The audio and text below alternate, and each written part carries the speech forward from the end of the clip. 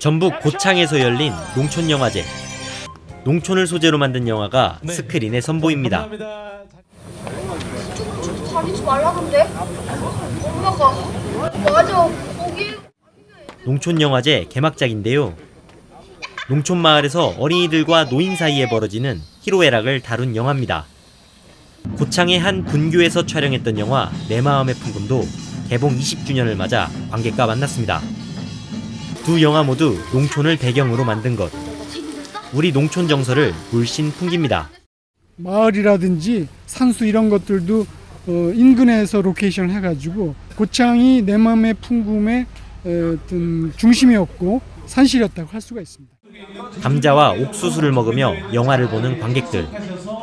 주전부리를 즐기며 여유롭게 영화를 감상하는 맛이 쏠쏠합니다. 그 영화를 보면서 나도 모르게 동심으로 잠깐 가서 이렇게 옛 추억을 다시 되새기고 그런 점이 너무너무 좋았던 것 같아요, 어제. 농촌영화제에 걸맞게 그 옛날 추억의 분위기를 연출한 겁니다.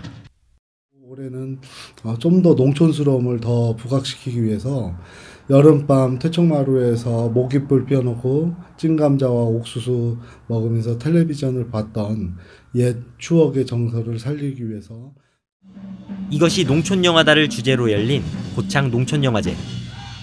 한중일 세 나라의 근대 농촌 풍경을 담은 영화가 특별 상영되고 포스터 전시회도 열렸는데요. 항일 전쟁 당시 농민들이 처한 현실을 보여준 중국 영화.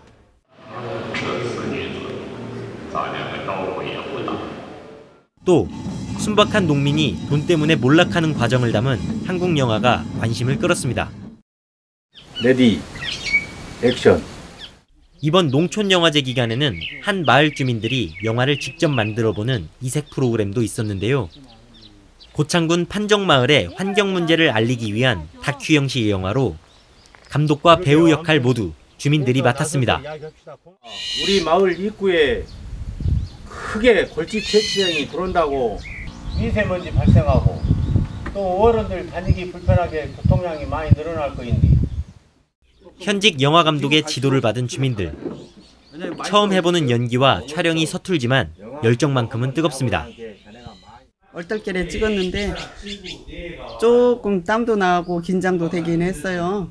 욕심 같아서는 또 한번 해보고 싶은 욕심은 있네요. 더 노력해서 좋은 작품을 만들도록 농촌의 모든 것을 좋게 만들기 위해서 한번 노력해 보겠습니다. 영화제가 열린 불과 나흘간에 농민들이 땀 흘려 만든 이 영화는 폐막작으로 상영됐습니다. 농촌을 소재로 한 이색적인 고창 농촌 영화제.